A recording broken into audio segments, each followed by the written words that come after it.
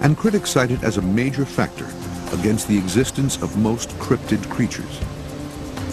But a recent discovery could turn that argument upside down. Megalania's modern relatives, Komodo dragons, can multiply without a mate. Called parthenogenesis, it is the process of producing offspring without male fertilization, and it has surprised the experts. There are a handful of, of reptiles out there that do reproduce parthenogenically.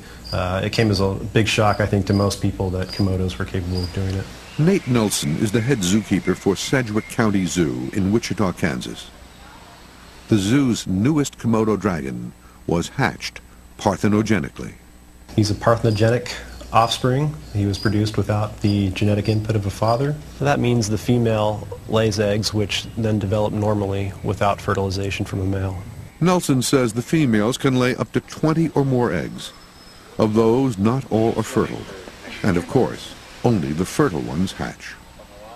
There is reason to believe that dragons at other zoos are reproducing parthenogenically. We're just not keeping the eggs.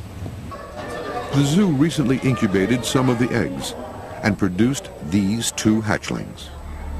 Uh, at this size right now, this, this dragon is really fast, really agile, uh, and that's an adaptation for getting up in trees and away from the predatory big adults, and they'll live up in the tree for up to a year.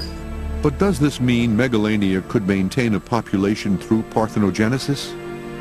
Nelson points out a problem with that theory.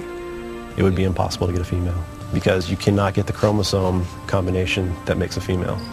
So reproduction without a male is possible, but only for a generation at a time.